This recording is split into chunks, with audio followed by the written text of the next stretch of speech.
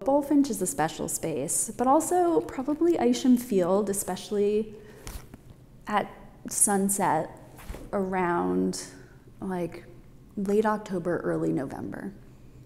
Our Flag Means Death is a um, series that was uh, made by Taika Waititi.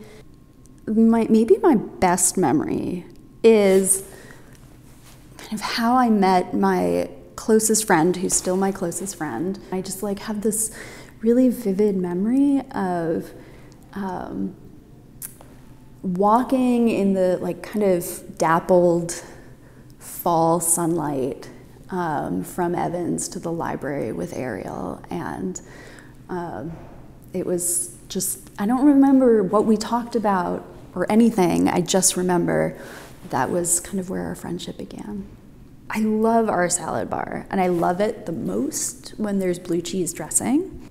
Well, I hear the new pool is heated, so I would really love um, to swim in the new pool. It looks so pretty in there. It's so like shiny and new. Probably the most beautiful thing about the Brace Center in general and what it stands for, um, as I understand it, is just the the warmth of the community. One thing that hasn't changed is the smell in the library.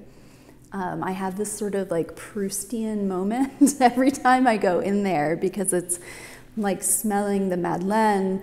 Like I walk into the library and it's been renovated since then. It's been, it was actually renovated my ninth grade year, but it smells exactly the same to me